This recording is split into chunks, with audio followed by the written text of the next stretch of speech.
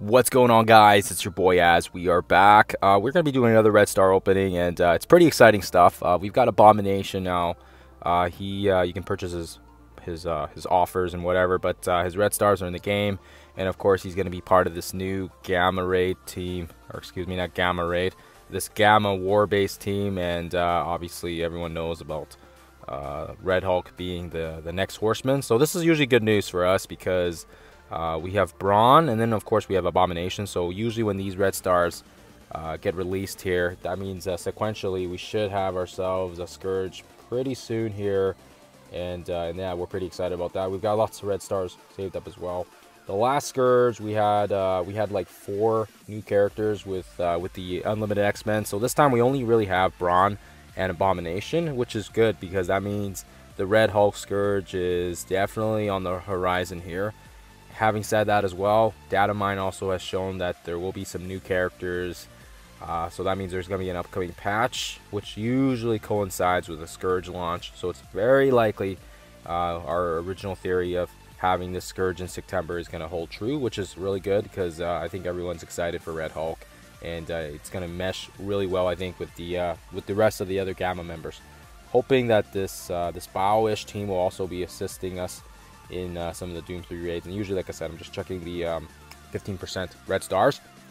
But we've got Abomination there, and uh, we've got uh, we've got 195 on the docket here. So we're gonna we have a bunch of uh, orbs saved up. So luckily for us, we can take advantage of that. And I think we're gonna open up uh, probably like 20 to get us started. You Don't want to go too crazy because you also want to save some for Brawn. I have I'm I'm not you know I have not I'm, I'm not the biggest fan of Abomination, but I think his overall kit looks pretty solid, and I think uh, you know you don't want to overspend your red star orbs, but for sure I think uh, if you're a big fan of them, go crazy. But really, I think you should be saving uh, saving it for Brawn as well because uh, he should be coming after he should be coming after Abomination, and uh, based on our uh, based on Scopely's pattern, um, that'll probably be a Scourge right after that, after the two red stars and and uh, maybe like another week of just gamma raid character or not gamma raid, I keep saying gamma raid, gamma based characters, and then of course maybe they'll they'll have the scourge following the update, uh, like they always usually do. So that's 10. We only got a one on him, so let's try another. Uh, let's try some more, and uh, we do have a bunch saved up. Actually, I don't mind opening up too much because we have been just hoarding these. Haven't really been using them. We've gotten some decent luck with some other pulls. There you go. Got a four here. So really, our luck's actually been pretty solid. I think that's the reason why we have so many saved up, because our luck's been good. I should really just stop here.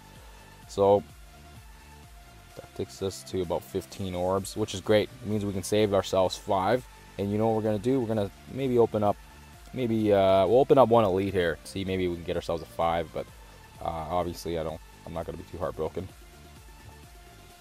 50% chance. Perfect. Alright, so we'll open up one and see where this takes us. The important thing here is just to be very, uh, uh, you know, just hold yourself back from spending too many orbs. I know sometimes I can get carried away, but that's the way it goes. Quickly switch gears here. We'll go into the roster so we can have a look at his kit. But, uh, yeah, as you guys see here, we got Brawn. He should be coming up. And then we got Abomination here. I don't know if I'm a fan of his kit, or uh, not his kit, his skin. His skin looks kind of, uh, might just be me looks kind of ugly. I don't know.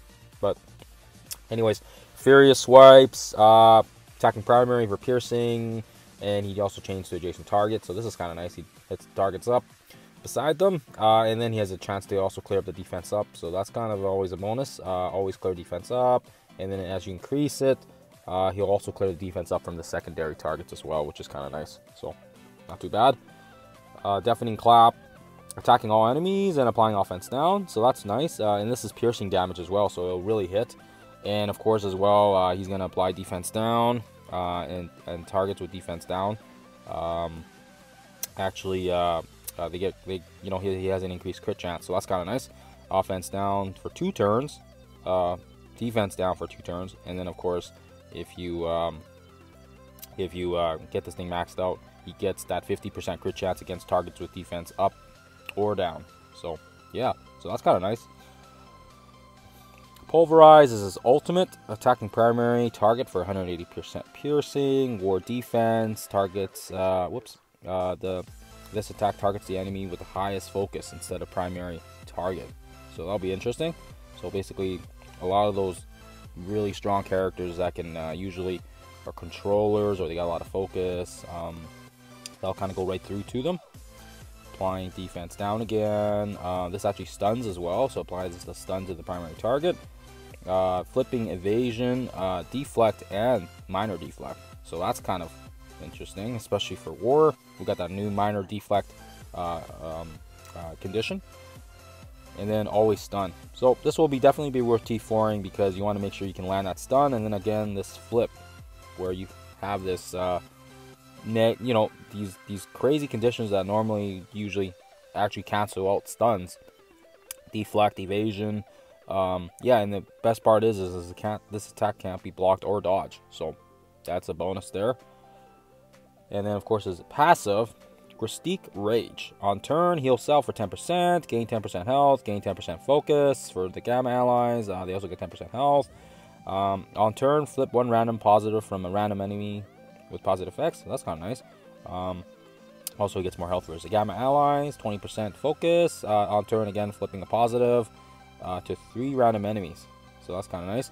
Uh, more health, uh, drain for uh, himself, and then of course uh, he gets more health as well for his allies, and then more drain for his allies, and then of course he also flips to all enemies, positive enemies. So pretty. I think he's uh his kit's okay. I think I think I don't think it's like anything crazy, but definitely for sure he you can kind of see how um, these negative flippings, the offense down, defense down, uh, and then the fact that he has a stun that can not be dodged as well.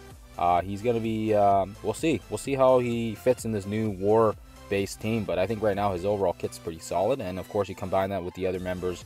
Um, hard to say, hard to say right now how they are on paper, but right now I think uh, it'll be interesting to see once we actually get this team leveled up and geared. Uh, as with any team that's been with a horseman, they seem to excel in the specific raids or arena or whichever game mode. So yeah, I mean, or not raids, I guess Cosmic Crucible. There hasn't really been a raid-based Scourge yet, but uh, yeah, we'll see how these ones go. But overall, I'm pretty excited.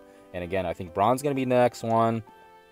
And then we should technically have uh, Red Skull probably Red Skull probably right after, maybe a week or two after that one. And uh, it depends on the update and the patch as well, but usually that's their pattern. That's all we got, guys. Thank you for watching, and uh, good luck with the Red Stars. We'll catch you guys in the next one.